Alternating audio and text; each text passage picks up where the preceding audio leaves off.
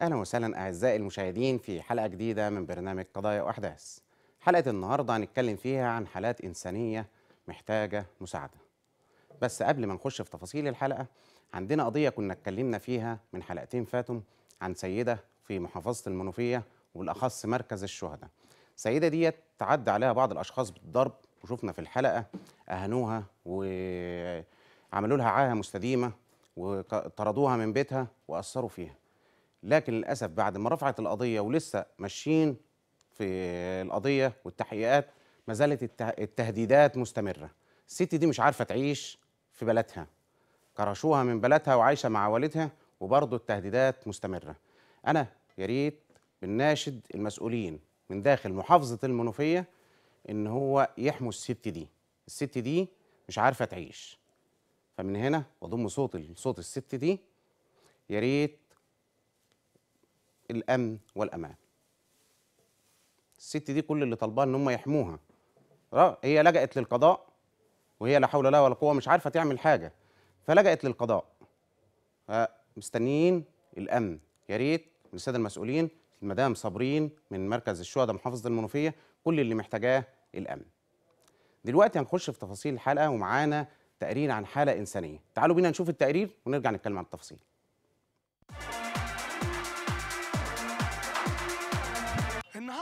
نافع راجل عاجز. وطبعا يعني تعب من حكاية الأطباء وتعب من حكاية المصاريف. هنشوف دلوقتي حكاية عمي نافع.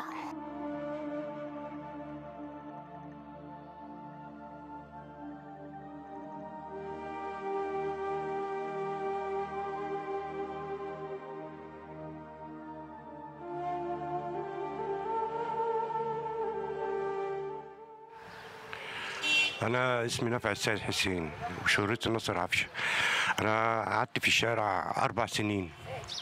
عيالي بهدلوني وضربوني واترميت في الشارع وعانيت من الكلى وكان عندي جلطة في رجلي لحد ما أدت اللي, اللي أنا أقطعها. لأن ما فيش حد بيساعدني إن أنا أعمل عملية ب 85 ألف جنيه. والحمد لله ربنا كرمني والحمد لله عملت العملية وقطعت رجلي. وبحمد ربنا سبحانه وتعالى إني يعني مديني الصحة اللي أنا أقدر أشتغل. أقدر مثلا أعمل أي حاجة أجيب مصاريف في, في الأكل والشرب. آه والحمد لله. وبفضل ربنا سبحانه وتعالى العميد حمدي طبعا خد لي أوضة بيدفع لي إيجارها آه وهو اللي بيساعدني هو وناس ثانية. أنا جاتني الأول حاجة الكلى تعبت منها فكنت بتعالج في القصر يعني منها. فرجلي ورمت فرجلي ورمت وطبعا دكتور بتاع بتاع الكلى بص كده فقال لي لا حولت الاوعيه الدموية الدكتور طبعا قال لك اشتباه في جلطه رحت عملت اشعه لقيت الجلطة بقى لها أربع شهور في رجلي. فادوني علاج وبتاع بقيت آخد في علاج في علاج في علاج. لحد ما ربنا كرمني رحت ناس يعني جم ساعدوني تاني. آه وعملت إشاعات. عملت أربع عمليات كنت كل يوم اتنين أنزل أعمل عملية قسطرة وبتاع. لحد ما يوم في الآخر قال لك لا ده الغرغرينة وصلت لحد فين؟ قبل الركبة كده لازم تتعمل فوق الركبة. عملت العملية. فأنا طبعا بن طبعا ب... يعني بيجيني شغلانه أعملها بتاع أنزل أجيب حاجة. فالكرسي طبعا اللي أنا قاعد عليه دوت مش السكر عندي بينزل. فأنا مش مجهود فكرسي الكهرباء هو اللي بيساعدني مثلا هروح هنا هروح هنا. لأن ما فيش حد بيوديني ولا حد بيجيبني ولا حد بيجي مثلا يعمل لي حاجة ولا أكل لقمة ولا أكل ولا أي حاجة. أنت عايش لوحدك؟ آه عايش لوحدي بقالي دلوقتي ست سنين. أنا طالب من ربنا سبحانه وتعالى أي حد يساعدني بكرسي بالكهرباء أو موتوسيكل معوقين طبعا بعد الحكاية اللي سمعناها دي ولا تقل لهما افا ولا تنهرهما. وقل رب ارحمهما كما ربياني صغيرا. لأن دعوة الوالدين هي اللي بتنجيك. أعزائي المشاهدين كان معكم وائل شعبان برنامج قضايا وأحداث.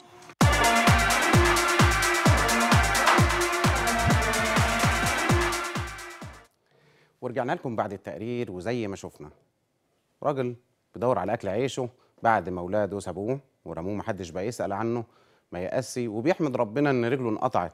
يعني بالرغم من إنه حصلت له جلطة في رجليه ورجليه اتقطعت إلا إن هو صابر وبيحمد ربنا على اللي هو فيه. هو محتاج مساعدة بسيطة محتاج كرسي بالكهرباء إن هو يساعده يقدر يروح لشغله يقدر يدور على أكل عيش ويدور على شغل. فيا ريت كل اللي شاف الحالة هيشوف دلوقتي معانا رقم التواصل مع الحالة نفسها اللي محتاج مساعدة. لو كل واحد قدر إن هو لو يطلع 10 جنيه من مصاريفه لو هنعتبرها إن هي علبة نص علب نص ثمن علبة سجاير ويساعده إحنا مش بنجبر حد إن هو يساعده. لكن لو كل واحد قدر يديله 10 جنيه كام واحد هيقدروا يحلوا مشكلته؟ هنقدر نساعده إن هو يدور على أكل عيشه. هو ما بيقولش حاجة لله محدش بي مش بيقول حد يأكلني ولا يشربني لكن هو محتاج حاجة تساعده إن هو لو بيروح على الكرسي ما بيلاقيش حد يزقه إن هو يروح الشغل فمحتاج كرسي كهرباء أو موتوسيكل المعوقين إحنا مش طالبين مش هنقول موتوسيكل عشان ما نتقلش على الناس لكن لو في كرسي كهرباء إن الناس تقدر تساعده بيه أو حد يتكفل الموضوع حد من المسؤولين حد من التضامن وزارة التضامن الاجتماعي إن هو يقدروا يساعدوه يدوا له كرسي متحرك إن هو يقدر يروح شغله ويرجع. راجل زي ده قاعد في بيته لوحده بيخدم نفسه ربنا مقويه إن هو يقدر ياكل بعرق جبينه لقمة أكل عيشه. لكن محتاج كرسي. فيا ريت كل الناس أو كل اللي يشوف حلقتنا النهارده يقدر يساعد ولو بجزء بسيط مع مع الحالة نفسها والتواصل مع الحالة. مش هيتواصل مع حد تاني لكن التواصل بيكون مع الحالة مباشرة. إيه وزي ما شفنا إحنا كنا في الحلقات اللي فاتت في حالات إنسانية كتير في منها اللي ربنا قدرنا وقدرنا نساعده في حاجة وفي اللي ما قدرناش نعمل حاجة. فيا ريت بناشد الناس كلها تاني اللي يقدر يساعد أي حاجة له الأجر والثواب عند الله. حاجات إنسانية تبقى زي ما قلت تبقى بالنسبة للناس أحلام كبيرة جدا أو مستحيل تحقيقها لكن بعض الناس بيكون بالنسبة لهم هو شيء هين. فيا ريت مساعدات بسيطة كل اللي محتاجين إن هو ممكن جزء بسيط لو هتوفره من مصروفك هتوفره من آه، مرتبك هتوفره من دخلك هيساعد ناس كتير قوي. حالات إنسانية زي ما إحنا شفناها بتبقى محتاجة جزء بسيط حاجة بسيطة كده ممكن بتغير حياته جزء بسيط ينقذ حياة. فيا ريت الناس كلها تقدر نتكاتف ونقف جنب بعض عشان نساعد بعض. اللي معاه يشيل اللي ما معهوش ونساعد بعض ونكون إيد واحدة.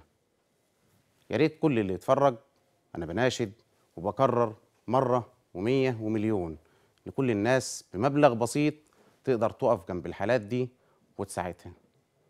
لو عملنا كده أو كل بلد شافت الحالة اللي فيها الأقربون أولى بالمعروف زي ما بنقول الحاله اللي في قلب البلد نشيل بعضنا. طيب معانا تقرير تاني نطلع نشوفه ونرجع تاني.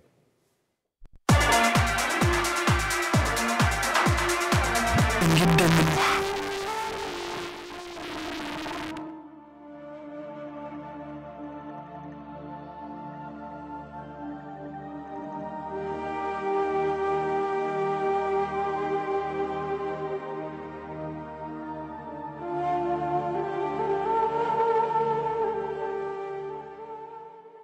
منوح أنا والدة بيرلا بيرلا دلوقتي عمرها سنة.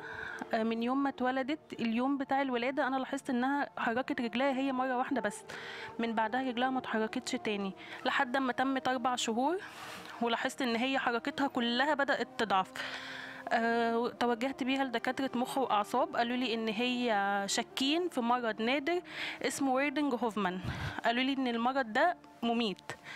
يعني لو ما اتلحقتش وخدت العلاج بتاعها عمرها هيكون قصير ممكن ما تلحقش إن هي تتعدى السنتين. آه، بدأت إن أنا أحاول في كذا اتجاه طب أي علاج طب مقويات مش عارفة إيه مفيش حاولت معاها خدت كل الأدوية مقوية للأعصاب والعضلات مفيش فايدة. كانوا قايلين لي إن هي تتعرض لالتهابات رئوية كتير ودوت اللي هيخليها هتيجي في مرحلة مش هتقدر إن هي تتنفس طبيعي. وللأسف دوت اللي حصل. بيلا دلوقتي ما بقتش ولا تحرك إيد ولا تحرك رجل ولا تحرك أي حاجة. هي كل اللي بيتحرك فيها عينيها بس مراقبة اللي رايح واللي جاي. بس ما فيش أي حاجة تانية فيها بتتحرك. هي أنا تواصلت مع أكبر دكتورة مخ وأعصاب في مصر. قالت لي إن دي علاج بيرلا الوحيد. آه، حقنة دي بتتجاب من أمريكا بتتاخد وريد عادي مرة واحدة في العمر بس للأسف المشكلة في ثمنها مش علشان مثلا حقنة سعرها غالي أو حاجة آه، نح- نحكم على طفلة بال- بالموت. بيرلا لو ما خدتش الحقنة ديت مش هتعيش معانا. هي دي علاجها الوحيد ال- ال-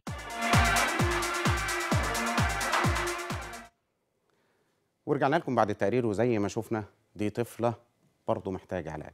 يعني كل اللي الناس بتشوفه كل معظم الحالات اللي بنشوفها إن هم كل اللي محتاجينه علاج. دواء إن هم يقدروا يكملوا حياتهم. طفلة زي دي مولودة من يوم ما اتولدت وهي حالتها زي دي محتاجة حقنة محتاجة مساعدة مالية. تتبرع ولو بجنيه إنك تقدر تساعد غيرك. ممكن يكون تبرعك ده سبب في حياة بني آدم وحياة شخص. واللي بيعمل حاجة ربنا أكيد ما بيسيبهوش ده اختبار أو تجارة مع ربنا. أنت بتتاجر مع ربنا. لما بت... لما بتساهم في شفاء حالة أو بتساهم في مساعدة حد أكيد ربنا مش هينسى حاجة زي دي. اللي بتديله تقدم ليه جنيه النهاردة لشخص ربنا بيرده لك عشرة. والله يضاعف لمن يشاء. بيترد لك في صورة تانية صورة إن هو بيشيل عنك آه، البلاء بيشيل عنك لا قدر الله ليك طفل. تعبان فربنا بي بي بي بيشيله. آه، ربنا بي بيقدر كل واحد على فعل الخير. وزي ما شفنا الرقم اللي على الشاشة دلوقتي الرقم بتاع الحالة الأولانية اللي كنا عاملينها بتاع الحاج اللي هو محتاج كرسي كهرباء. الحاج اللي هو يدور على كرسي كهرباء أو بيدور على أي حد يساعده عشان يجيب كرسي إن هو يدور على أكل عيشه يا ريت اللي يقدر يساعده. الرقم موجود على الشاشة دلوقتي والتواصل معاه شخصيا ويقدر يقدم له أي حاجة. نتمنى من الله إن الكل يساعد حالات كتير والناس المحترمين كتير وأكتر. وزي ما أنتم شايفين رقم ال- ال- الرقم بتاع التواصل على الشاشة والحالة قدامكم على الطبيعة وشفتوها وشفتوا اللي, هو محتاجه. الصورة موجودة دلوقتي قدامنا على الشاشة بتاع الحاج محتاج المساعده فيا ريت نتكاتف ونقف جنب بعض ونساعد يبقى إيد واحدة. ده اللي أقدر أقوله وأكرر مرة ومليون. كل اللي نقدر عليه إن إحنا نساعد وتواصل. واللي مش هيقدر يتواصل مع الحالة في رقم للبرنامج وهنوصله برضه بنفسه يتأكد. يعني إحنا ما بناخدش مساعدات من حد. إحنا البرنامج ما بياخدش جنيه يوصله بنفسه. لأ إحنا بناخد الحالة نوصلها بنفسها. ناخد اللي عايز يساهم بنوصله للحاله يتأكد ويسأل ويشوف بنفسه وحابب يساعد ده الأجر والثواب. لكن إحنا ما بناخدش حاجة. إحنا ما بناخدش أي مساعدات نوصلها بنفسنا. لكن كل اللي بي اللي بيساعد بيدي المساعدة في إيد الحالة نفسها. ما ناخدش جنيه نحطه في جيبنا. في حالات زي دي كتير بنشوف حالات زي ديت في ناس والعياذ بالله بياخدوا بيستحلوا فلوس الناس اللي عجزه الناس المريضة الناس اليتامى لكن الحمد لله اللي بيحتاج اللي بيحب يساعد بيساعد بنفسه. يروح نوصله للحالة لو هو من مكانه ومحتاج حد نوصله إحنا ناخده أنا هاخده بعربيتي وأوصله لحد الحالة نفسها. كل اللي محتاج يساعد رقم تليفوني على الشاشة. يتصل وأنا أوصله للحالة بنفسه. محتاج يبعت حد يسأل قبل ما يساعد يسأل ويعرف التفاصيل. اتمنى من الله إن نقدر نساعد الناس دي. هنطلع فاصل وبعد وبعد الفاصل هيكون معانا زميلتي رينا جوزيف. إلى اللقاء في حلقة جديدة من برنامج قضايا وأحداث.